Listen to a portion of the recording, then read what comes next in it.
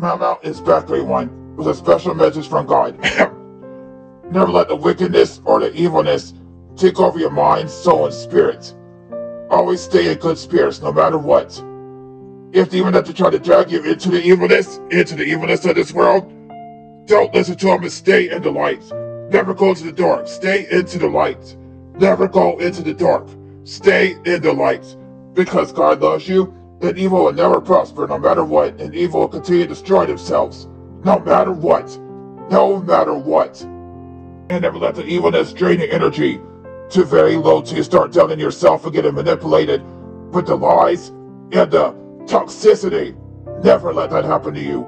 Because God knows who you are, and He loves you for who you are. Then must be proud of yourself and love yourself for who you are. God will always give you strength. The devil is a liar. He always wants to put you down no matter what. Always rebuke the devil. Say, I rebuke thee. I want no part of this evilness ever. I will rebuke thee. Rebuke thee. Because God has special plans for his followers and people that are obedient to him. Because God is love and always will be love. The devil is just pure evil. He has no love at all. Thank you for coming into my life, God. I appreciate everything, God. You too, Jesus, and the Holy Spirit. I appreciate everything.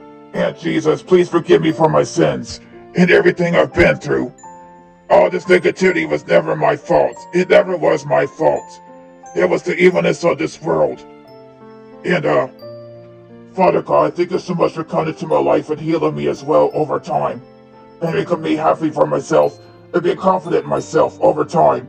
I appreciate everything. You filled my mind, body, heart, and soul with the Holy Spirit and give me a fresh new anointing. In Jesus' name, amen.